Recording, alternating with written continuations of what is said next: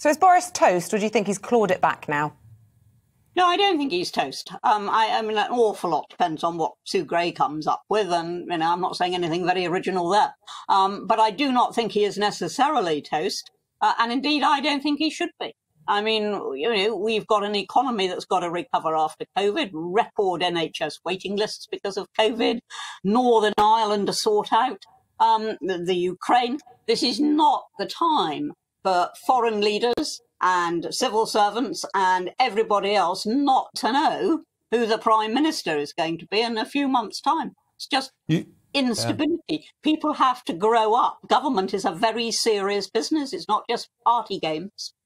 Well, we say people have to grow up. Has Boris Johnson got to, got to grow up? I mean, he has this reputation of being the king of chaos, and he seems to thrive under under chaos.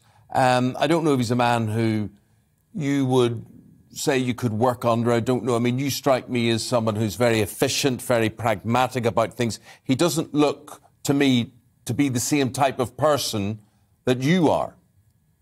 Well, he's not, and he, and he is utterly chaotic, and I don't think there's any argument about that. But the nation knew he was utterly chaotic uh, when they voted for him uh, in 2019 and voted for him with an enormous majority because of his promise to get Brexit done, which he has, at any rate, to most of the extent. I'm not pleased with all of it, but he's delivered. Uh, and uh, so we knew he was chaotic at that time. I knew he was chaotic. He's never been organised. He misses events, or used to. He's got diary secretary these days. But it, totally chaotic.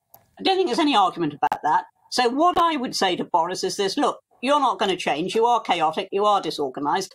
However, you have staff and what you need is a really good behind the scenes, not out in the cameras talking, behind the scenes advisor who will just keep your affairs on the straight and narrow